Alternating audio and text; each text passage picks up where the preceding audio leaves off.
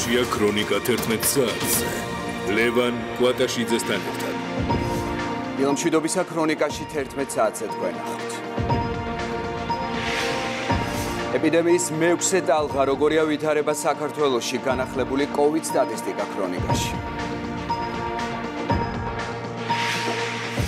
წელსმთავრობა პირველ ხდომას მართავს, რასაკითხებს განიხილავენ მინისტრთა კაბინეტის წევრები.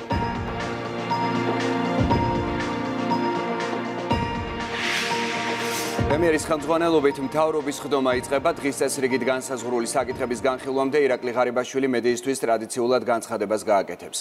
პირდაპირ ეთერში ვრთავთ მთავრობის ადმინისტრაციას. და წარმატებულ წელს. მე მინდა ჩვენ საზოგადოებას მივაწოდო ინფორმაცია თუ როგორ დავასრულეთ გასული საბიუჯეტო წელი და როგორი არის 2021 წლის ძირითადი მაკროეკონომიკური და ფისკალური პარამეტრები. მიუხედავად იმ გამოწვევებისა, რომელიც გლობალური პანდემიიდან გამომდინარე 2021 წელსაც ჰქონდა ქვეყანას. მე შეგახსენებთ, რომ 2021 წლის ბიუჯეტი დაიგეგმა 2020 წლის ბოლოს, როგორც ეპიდემიოლოგიურად, ისე ეკონომიკურად ყველაზე რთულ პირობებში. შესაბამისად, 2021 წელს ეკონომიკური აღდგენის მოლოდინები იყო მინიმალური. ეკონომიკური დის პროგნოზი შეადგენდა მაშინ 4.3%-ს. თელიანი შიდა პროდუქტის მოცულობა პროგნოზირებული იყო 53.4 მილიარდი ლარის ოდენობით. თავრობის ვალის პროგნოზი იყო მშპ-ს 60%-ზე მაღალი, ხოლო ნაერთი ბიუჯეტის დეფიციტის მაჩვენებელი შეადგენდა მშპ-ს 7.6%-ს. 2021 წელი დაიწყო საკმაოდ რთულად. გახსოვთ რომ იანვარში ჩვენ ქონდათ 11.5%-იანი ეკონომიკური კლება. და ფაქტობრივად ვიყავით ლოკდაუნის რეჟიმში. ვირუსის ძალიან მაღალი გავრცელება და სამწუხაროდ ადამიანური დანაკარგით. მაგრამ ვითარება შეიძლება რადიკალურად მარტი-აპრილის თვიდან.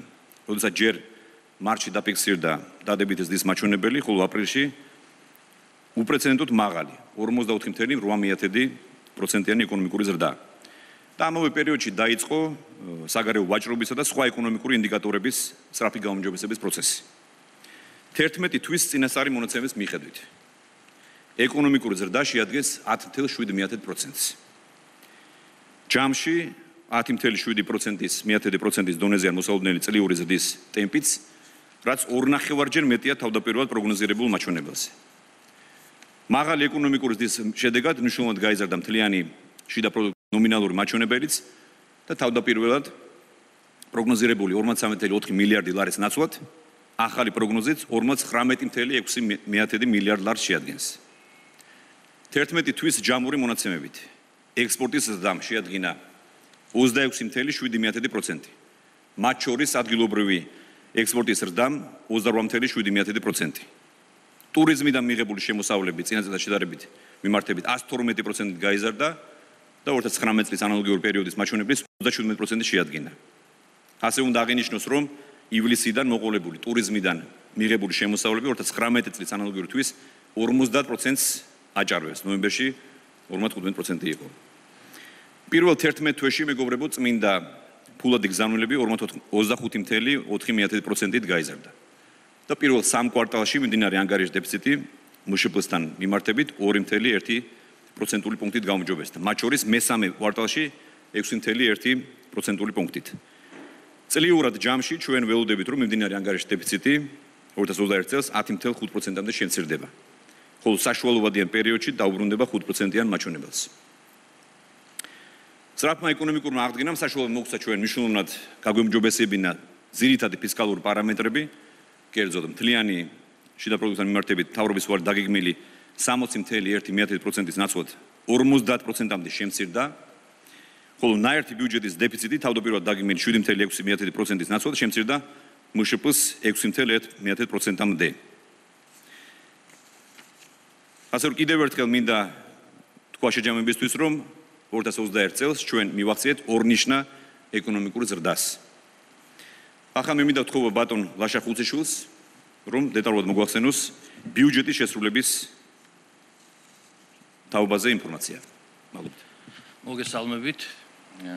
როგორც უკვე აღნიშნეთ ბატონო პრემიერო ეკონომიკური დაწელს ნამდვილად ორნიშნა დონეზე იქნება და ეს იქნება მინიმუმ 10.7%-ის ოდენობით, რომელიც უკვე 11 თვის განმავლობაში დაფიქსირდა. ბუნებრივია, მნიშვნელოვანი წილი შეიტანა ეკონომიკურ ზრდაში ექსპორტის გაუნჯობესებულმა მაჩვენებელმა, ასევე ტურიზმის აღდგენის ტემპმა, რომელიც მოსალოდნელზე მაღალი იყო და შესაბამისად ნიში და პროდუქტი ნავარაუდები 53 მილიარდის ნაცვლად არის 59.6 მილიარდი.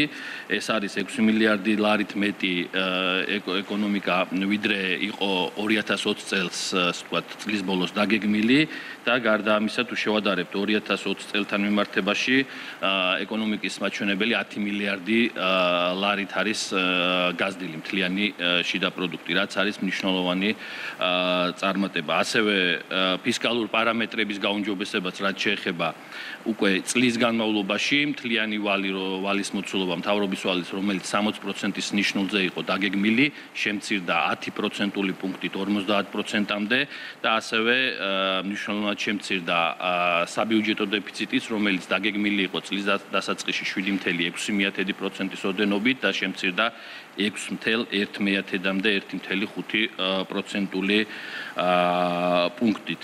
რაც შეეხება უშუალოდ ბიუჯეტის ძირითად პარამეტრებს, ჩვენ 2021 წელს მოგეხსენებათ, რომ ორჯერ განვახორციელეთ ბიუჯეტში ცვლილებები, ცვლილებები, რომლის მიხედვითაც მხოლოდ საგადასახადო შემოსავლები მილიარდ 226 მილიონი ლარით გავზარდეთ ბიუჯეტში და შემოსავლების გეგმა იყო 13 მილიარდ 271 მილიონი საგადასახადო შემოსავლების, ხოლო ფაქტიურმა შესრულებამ წლის ბოლოს შეადგინა 13 მილიარდ 380 მილიონი, დაზუსტებულ გეგასთან შედარებით გადაჭარბება გვაქვს 109 მილიონი ლარი, ხოლო თავდაპირველად და დამტკიცებულ გეგმასთან შედარებით ბიუჯეტის საგადასახადო შემოსავლები გავზარდეთ მილიარდ 335 მილიონი ლარით. ამასთანავე უნდა აღინიშნოს, რომ უპრეცედენტოდ მაღალი არის და დღეგეს დაბრუნების ზედმეტად გადახდილი დღეგეს დაბრუნების მაჩვენებელი. დღეგეს ზედმეტობის დაბრუნებულმა თანხამ შეადგინა მილიარდ 930 მილიონი ლარი. რაც 100 მილიონით აღემატება ამ რეფორმის დაწყებამდე ბოლო 11 წლის განმავლობაში ჯამურად დაბრუნებულ დღგ ზედმეტობის თანხას. ბუნებრივია მსგავსი პარამეტრების მიღწევა საგადასახადო ეფექტური საგადასახადო ადმინისტრების გარეშე შეუძლებელი იქნებოდა. 100%-ს გადააჭარბა როგორც სახელმწიფო, ასევე ნაერთი ბიუჯეტის შემოსულობების გეგმა.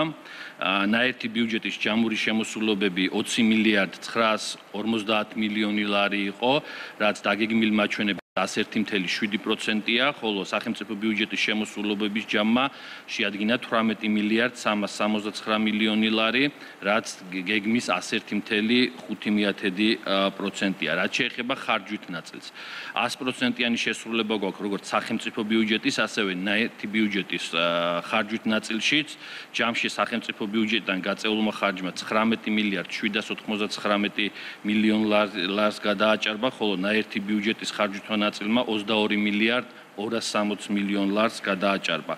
გასულ წელს მნიშვნელოვანი თანხები დაიხარჯა ინფრასტრუქტურის მიმართულებით.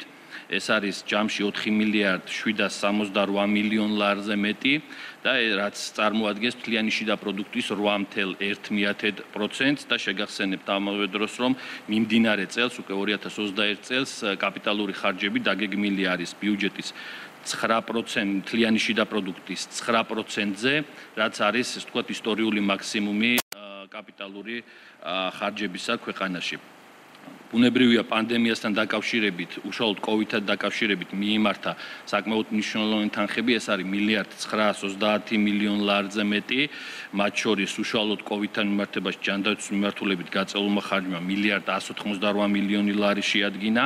უშუალოდ COVID-თან დაკავშირებით მოსახლეობის სოციალური დახმარების კუთხით მიიმართა 410 მილიონი ლარი და ბიზნეს მხარდაჭერის კუთხით 335 მილიონი ლარი. მათ შორის საშემოსავლო ქონების გადასახადში დაწესებული შეღავათების ეფექტი იყო 250 მილიონი ლარი. შესაბამისად, რომ შევაჯამოთ მიმდი გასულ წელს, ასე ვთქვათ 2021 წელს, ჩვენ მივახციეთ ორნიშნა ეკონომიკურ ზრდას რამაც საშუალება მოგცა ადეკვატურად გვეპასუხა ჯანდაცვის მიმართულებით გამოწვევებზე და სრულად დაგვეფინანსებინა ისინი, ასევე მიგვემართა საკმაოდ მნიშვნელოვანი პროექტების დასაფინანსებლად თანხები და ამავდროულად შეგვემცირებინა საბიუჯეტო დეფიციტიც და მთავრობის ვალიც. დიდი მადლობა ბატონლაშა. მე მინდა ყველას მადლობა გადაგიხადოთ ყველა მინის წარმატებული საქმიანობისთვის. ახლა რა თქმა უნდა, ჩვენ კიდევ უფრო მეტი უნდა გავაკეთოთ.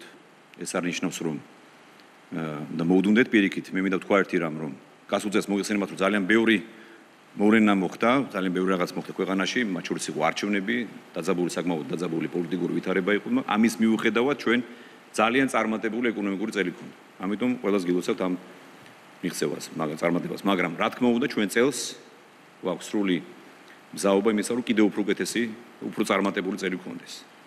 ამის ჩვენ შეიძლება კიდევ უფრო მეტი მუშაობა, უფრო შემართებით, მობილიზებით და რაც შეიძლება მეტი უნდა გაუკეთოთ ჩვენს მოსახლეობას. განსაკუთრებით იმ ნაწილს, ვინც ყველაზე მეტად საჭიროებს სახელმწიფოს მხრიდან დახმარებას, თანადგომას. ჩვენ მინდა ასევე აღნიშნო, რომ მაქსიმუმად უნდა გავამარტივოთ ჩვენ სერვისებზე წვდომა. უნდა გავამოჯობესოთ, უნდა დავხვეწოთ სერვისები, სახელმწიფო სერვისები, ბიზნესმა გავუადვილოთ ოპერირება და საქმიანობა. ზედმეტი ბარიერები უნდა მოიხსნას ქვეყანაში და ზედ მაქსიმალური ყურადღება და თანადგომა მოსახლეობას. აი ეს უნდა იყოს ჩვენი მთავარი გზავნილება. ასევე მინდა თქვა, რომ მოგესალმებით, რომ ჩვენი დაპირება შესრულდა, აზარტული თამაშების საკითხი დარეგულირდა ქვეყანაში. პარლამენტს მალობა კიდევ ერთხელ რომ მიიღეს შესაბამისი კანონი. კიდევ ერთ დაპირება რა ჩვენ გვაქვს მედიკამენტების ფასებთან დაკავშირებით. ამ თემაზე ჩვენ ამ კვირაში მივიღებთ გადაწყვეტილებებს, რაც ჩვენი პროგნოზით მნიშვნელოვნად შეამცირებს მედიკამენტების ფასებს. ფარმაცევტული ბაზრის ანგარიში დასრულებული არის კონკრეტ სააგენტოს დაასრულო მუშაობა. ბატონი ზურა ახალი მინისტრი შეხვდა კონკრეტ სააგენტოს ხელმძღვანელს, მათ ერთად დაგეგმეს შემდგომი გასტარებელი ღონისძიებები. ჩვენ ასევე ვაპირებთ რომ გავხსნათ თურქეთის ბაზარით, თურქეთიდან შემოვიდეს ხარისხიანი, მაღალი ხარისხის მედიკამენტების, რაც ძალიან ასე ვთქვათ, ჩვენი პროგნოზით გაიაფებს ფასებს მედიკამენტებზე. და ამას გარდა ჩვენ ასევე ვიმუშავებთ კანონმდებლობაზე, რომელიც კიდევ უფრო გამომჯობესებს ამ სიტუაციას ამემართულებით. ასევე მინდა თქვა, რომ ჩვენ ერთ-ერთი თავარი პროექტი წელს გვექნება ჩვენ სამუშაო ადგილების საკითხი. მოგესალმებით, რომ ჩვენი მთავარი ამოცანა არის სიგარების შემცირება და სამუშაო ადგილების შექმნა. ამიზით მე შეგახსენებთ, რომ ჩემი ინიციატივით ჩვენ დავიწყეთ უკვე მუშაობა საზოგადოების სამუშაო ადგილების შექმნის თაობაზე ინიციატივაზე ბატონ ლევან დავითაშვილი სქემზღონელობით ჯგუფი იყო წასული ევროპაში რამდენიმე ქვეყანაში ქვეყნის მაგალითი დაამუშავეს პრაქტიკული მაგალითები და ჩვენ უკვე ვიწყებთ იანვრიდან ამ პროექტს. ჩვენ შექმნით 10000-ობით ახალ სამუშაო ადგილს. ჩვენ უნდა შევცვალოთ არსებულ სოციალურ პოლიტიკა და მოსახლეობას უნდა შევუქმნათ სამუშაო ადგილები და შევამციროთ ციგარები აი ეს უნდა იყოს ჩვენი თავარი სამუშაო ჩვენი თავარი საზრუნავი ამ წელს. მომდენო 3 წელი მოგესალმებით რომ არჩევნები არ იქნება ქვეყანაში, პოლიტიკური სიტუაცია არის მნიშვნელოვნად გამარჯვებული და სტაბილურებული და ჩვენ ახლა უნდა ვიმუშაოთ. საქმე, საქმე და საქმე, ხოლო საქმე უნდა ვიფიქროთ და მოსახლეობას უნდა დავეხმაროთ მაქსიმალურად. ასე მინდა ვთქვა, რომ რა თქმა უნდა ჩვენ ყურადღებით ვაკვირდებით ბოლო პერიოდში ეპიდემიას აა დაწყებული არის მორიგი დაინფიცირების ახალი ტალღის აღმასვა, ტალღის აღმასვა რაც ახალი უფრო ინფიცირები უფრო ინფიცირებული შტამის ომიკრონის და დღესასწაულის დღეებში სახელმწიფო შეკრებები და ზამთრის საკურორტო ზონებში გაზრდილი მობილობით არის გამოწვეული. ამიტომ კიდევ ერთხელ მე მინდა მოსახლეობას მოუწოდო რომ ავიცრათ, ავიცრათ ჩვენი ახლობლები, მეგობრები, მშობლები, ოჯახის წევრები, ვატაროთ პირბადე და დავიცოთ დისტანცია. აი ეს უნდა იყოს ჩვენი მთავარი, ასე ვთქვათ, ახლა ამოცანა. დანარჩენი ვაქცინები გვაქვს ადგილზე, ამას გარდა ჩვენ უკვე დაუკვეთეთ მედიკამენტებიც, სამკურნალო მედიკამენტებიც, რომელიც აა Pfizer-მა შეიმუშავა და ასე Merck-ზეც მუშაობთ, Merck-ის მედიკამენტებიც. მე მინდა ახალ მინისტრს ხოვო. მოდი სიტყვით მოგვახსენოს რა ვითარება გვაქვს ქვეყანაში. მოგესალმებით, მოგახსენებთ დღევანდელ ეპიდემიოლოგიურ სიტუაციას. გასული სადღესასწაულო დღეებიდან გამომდინარე, გვაქვს ინფიცირების შემთხვევების და 3000 შემთხვევამდე გვაქვს საშუალოდ ყოველდღიურად. აქედან 1000-მდე ლაბორატორიულად დადასტურებული გვაქვს ახალი შტამის ომიკრონის შემთხვევა. თუ შეიძლება ჩავთვალოთ დადებითად არის ის, რომ ომიკრონის მიმდინარეობა არის საკმაოდ სუბუქი. გაზრდილი ინფექციიდან გამომდინარე არ გვაქვს გაზრდილი მნიშვნელოვნად ჰოსპიტალიზაციის რაოდენობა. ასევე მნიშვნელოვანია აღნიშნოთ, რომ შემცირებულია გარდაცვალებების რაოდენობა. ჩვენ შეგვიძლია ვთქვათ, რომ იმ შემთხვევაში თუ მნიშვნელოვნად იქნება გაზრდილი ომიკრონის შემთხვევებიც, ჯანდაცვის სისტემა სრულად მობილიზებულია და მზად არის გამოკლავდეს ნებისმიერ გამოწვევებს. როგორც ბატონო პრემიერმა აღნიშნა, ჩვენ ადგილზე გვაქვს მედიკამენტები, რითიც სხვადასხვა ეტაპზე ვახდენთ კოვიდით ინფიცირებულების კურნალობას, ასევე შეუკვეთეთ და რამდენიმე კვირაში დამატებით გვექნება Pfizer-ის და Merck-ის წარმოების მედიკამენტები, რომლებიც საკმაოდ ეფექტურობით გამოირჩევა. ასევე მინდა გითხრათ, რომ დღეიდან ჯანმოს ადგილობრივი ოფისის და თავდაცვის ჯანდაცვის სამინისტროს თანამშრომლების მიერ დაკომპლექტებული მობილური ჯგუფები ახდენენ ჰოსპიტალების ადგილზე მონიტორინგს როგორც ინფექციის კონტროლის კუთხით, ასევე რეანიმაციის და COVID ინფიცირებულების კურნალობის კუთხით. საჭიროების შემთხვევაში ჩვენს მოქალაქეებს შვიდად და უსაფრთხოდ შეეძლებათ ჰოსპიტალში კურნალობა.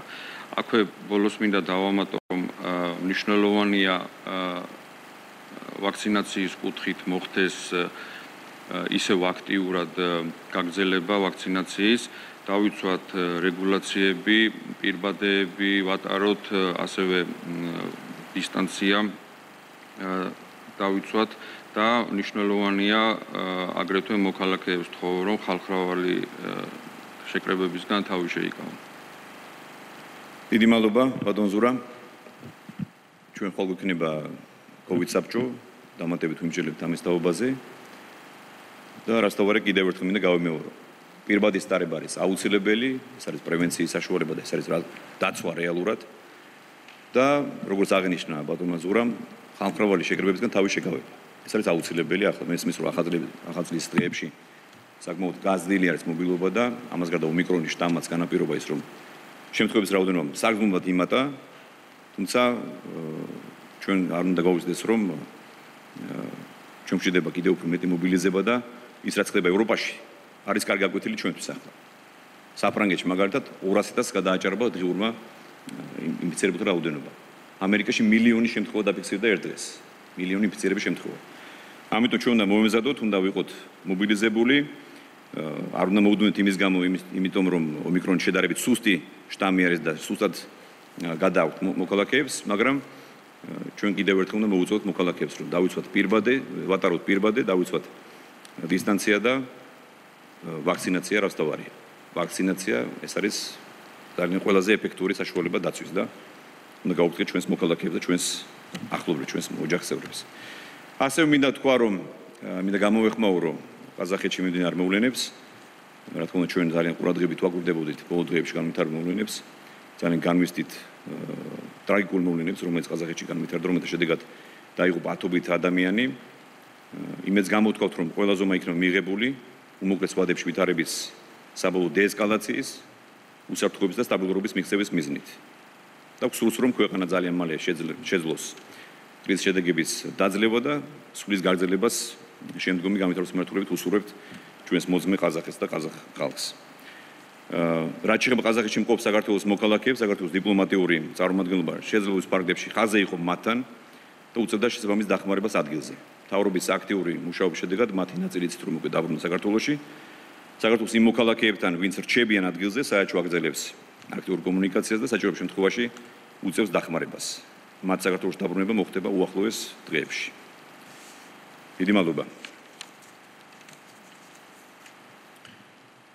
ეს ხო ჩართვა მთავრობის ადმინისტრაციიდან პრემიერ-მინისტრი გამოეხმაურა ყაზახეთში არსებულ მდგომარეობას, ასევე მოусმინეთ ინფორმაცია ქვეყანაში არსებული ეპიდვითარების შესახებ და როგორ მიმდინარეობს პანდემიის პირობებში ეკონომიკის აღდგენის პროცესი, აღინიშნა რომ ბოლო 11 თვის განმავლობაში ეკონომიკის ზრდა 10.7%-ი შეადგინა, ამასთან შემცირდა საბიუჯეტო დეფიციტი და მთავრობის ვალი. განვაგრძობთ გამოშვებას, როგორია განახლებული COVID სტატისტიკა. ათიანურის მონაცემებით ბოლო 24 საათში ვირუსი დაუდასტურდა 2953 ადამიანს. უმეტესობა კვლავ თბილისში გამოვლინდა. ამ ეტაპზე აქტიური შემთხვევების რაოდენობა 35363 პაციენტს შეადგენს. გარდაიცვალა კიდევ 31 ადამიანი, განიკურნა 1085 ინფიცირებული. დადებითობის დღიური მაჩვენებელი 11.47%-ია. საქართველოში ომიკრონით ინფიცირებულთა რაოდენობა ყოველდღიურად იზრდება. ახალი შტამი უკვე 1000-მდე ადამიანს დაუდასტურდა, თუმცა აქედან კლინიკაში გადაყვანა მხოლოდ 8 პაციენტს დაშირდა. ამიდან გამყრელიძის ინფორმაციით, დღეს ქვეყანაში კორონავირუსის დადასტურებული შემთხვევების 10% სწორედ ომიკრონის შტამია. პროცენტულ ზრდას კი სპეციალისტები თვის ბოლოს ელოდებიან, რაც მათივე განმარტებით ეპიდვითარებას მკვეთრად შეცვლის. დიდი ალბათობით დაემატება, იმიტომ რომ სადაც ეჭვი გვაქვს ომიკრონია, საკმაოდ ბევრი გროვდება უკვე და ბევრი იგზავნება ჩვენ. 600 შემთხვევიდან საშუალო ასაკი არის 33 წელი. 5 წლამდე იყო 8 ბავშვი. ამების მუტაცია, ანუ სხვადასხვა შტამების გაჩენა ეს თავიდანვე როცა დაიწყო პანდემია ხდებოდა. ველოდებოდით რომ შეიძლება რომ თქვა ერთ ნიმუშში და ერთ შემთხვევაში იყოს ორი შტამის მუტაცია, ეს არ არის გასაკვირი და ჩვენ იგივე სეკვენირების დროს ამას ვაკვირდებით ჩვენთანაც, მაგრამ ჯერჯერობით არ გვაქვს ეს რომ ერთ ადამიანზე ყოფილიყო როგორც დელტა ის ომიკრონის შტამი. საქართველოს ეპიდემიის მეექვსე ტალღა დაიწყო ექიმების შეფასებით დღეს არსებული მდგომარეობა რთული და არასაიმედოა. სამხრეთ აფრიკული ვარიანტის გავრცელების პიკურ პერიოდს ექიმები იანვრის ბოლოდან ელოდებიან და ფიქრობენ, რომ ომიკრონის შტამი ჰოსპიტალური სექტორის მაქსიმალურად გადატვირთვას გამოიწვევს. რაოდენობა აბსოლუტურად ცდება იმ რაოდენობას, რომელიც ფიქსირდება.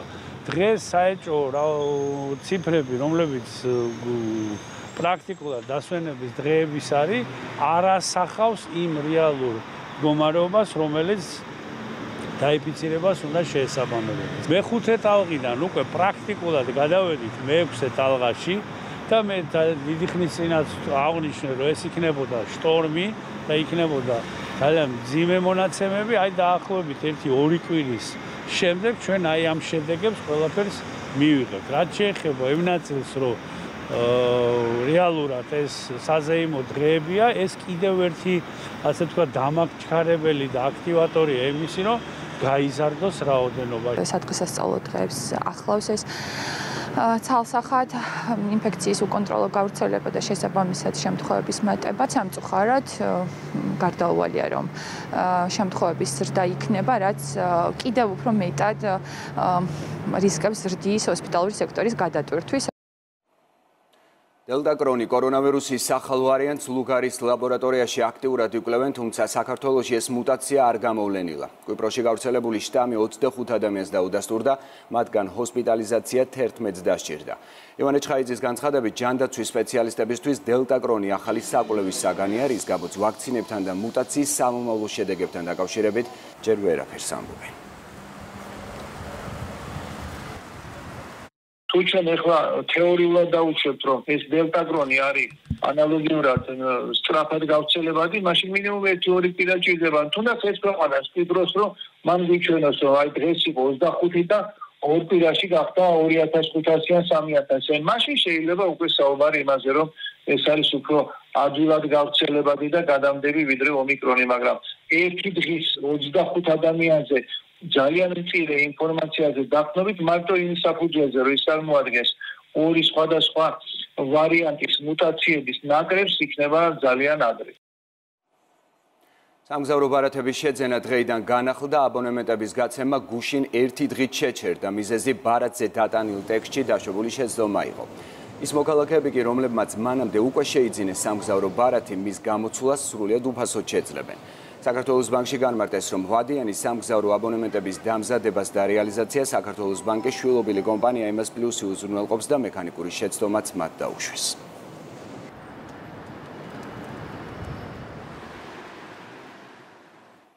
ვაშინგტონი მოსკოვთან მოლაპარაკებებისგან მნიშვნელოვან შედეგებს არელის სამი შესახებ ამერიკის სახელმწიფო მდივანმა ჟენევის მოლაპარაკებების დაწყებამდე ერთი დღით ადრე განაცხადა. ენტონი ბლინკენის თქმით, რთულია რეალური პროგრესის დანახვა ესკალაციის პირობებში, როდესაც იარაღი უკრაინაზეა მიშვერილი. მისივე განცხადებით, მოსკოვის მთავარი მიზანი პოსტსაბჭოთა სივრცეზე გავლენის აღდგენაა. Ukraine crisis as Russia presses for security concessions from the NATO alliance.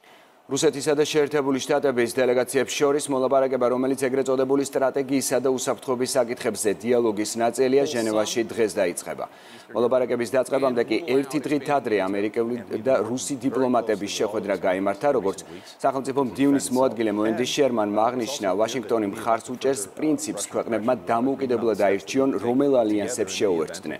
შერმანმა ხაზი გაუსვა ვაშინგტონის ერთგულებას სუვერენიტეტს, ტერიტორიული მთლიანობისა და სუვერენული ერების თავისუფლების მიმართ. კონსულტაციები ჟენევაში დღეს დაიწყება და 12 იანვარს ბრიუსელში, 13 იანვარს კი ვენაში გაგრძელდება. მოლაპარაკებებზე რუსეთის დელეგაცია სერგეი რიაპკოვი ხელმძღვანელებს, ამერიკულ დელეგაციას კი ვენდი შერმანი. and rule out expanding NATO to and we've been ჟენევის მოლაპარაკებებს ეხმაურება ნატოს გენერალური მდივანი ციანს ტოლტენბერგის თქმით მოლაპარაკება უსაფრთხოების საკითხებთან დაკავშირებით შესაძლოა ხანგრძლივი გამოდგეს და კომპრომისის მიღწევის შეხვედრების მთელი სერიაც დასჭირდეს. საუკუნეების განმავლობაში რუსეთს მეზობლებთან კონფლიქტი ჰქონდა, თუმცა მოსკოვს ალტერნატივა აქვს ნატოსთან თანამშრომლობა და მუშაობა. პოლიტიკური გზის პოვნა შესაძლებელია, მაგრამ კონფლიქტის რისკი კვლავ დარჩება. ნატოს შეკავების ფაქტორი სანდო და ძლიერია. ჩვენ უნდა გქონდეს იმედი და ვიმუშაოთ საუკეთესოსთვის, თუმცა სად უნდა ვიყოთ უარესისთვის, აღნიშნა იენ სტოლტენბერგმა. Ukraine is not a threat force against აზახეთის ჯანდაცვის სამინისტრო მასობრივი არეულობების შედეგად დაღუპულთა რიცხვს ასახელებს უწყების განცხადებით შეტაკებებს სულ 164 ადამიანი ემსხვერპლა გარდაიცვალა მათ შორის სამი გარდაცვლილთა შორის სამი ბავშვია. პრეზიდენტ ტოყაევის განკარგულებით 10 იანვარი ყაზახეთში გლოვის დღედ არის გამოცხადებული. ალმათიში ამ დრომდე კომენდანტის საათი მოქმედებს, მასობრივი საპროტესტო აქციები კი როგორც ცნობილია ქვეყანაში თხევადი აირის გაძვირების გამო დაიწყო, რასაც სამართალდამცველთან შეტაკებები მოხდა.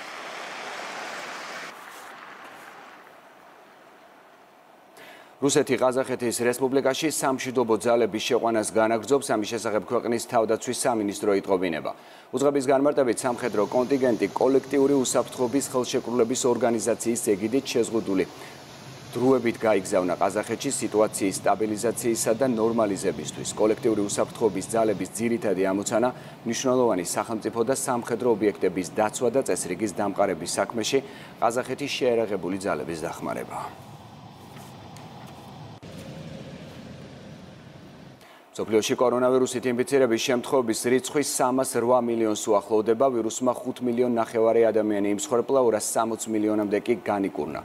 პანდემიის დაწყებიდან დღემდე ინფიცირების 60 მილიონზე მეტი შემთხვევაა გამოვლენილი შეერთებულ შტატებში. ამაჩვენებლით ის სოფლიოში პირველ ადგილს იკავებს. გასული დღეღამის განმავლობაში კი ინფიცირების ყველაზე მეტი შემთხვევა საფრანგეთში გამოვლინდა.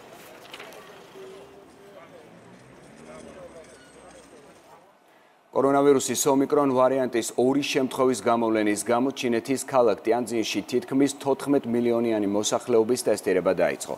ქალაქის ადმინისტრაციაში აცხადებენ, რომ 4 ოლქის მცხოვრებლებს ტესტირება მომდევნო 24 საათის განმავლობაში ჩაუტარდებათ, ხოლო სხვა ოლქებში ტესტირება მომდევნო დღეს ჩატარდება. ტიანძინის მცხოვრებლები ეგრეთ წოდებული მწვანე კოდს, რომელიც მოგზაურობისთვის აუცილებელია, კორონავირუსზე ტესტის უარყოფითი პასუხის შემთხვევაში მიიღებენ. ქალაქის ადმინისტრაცია მოსახლეობას ურჩევს საჭიროების გარეშე ქალაქი არ დატოვონ.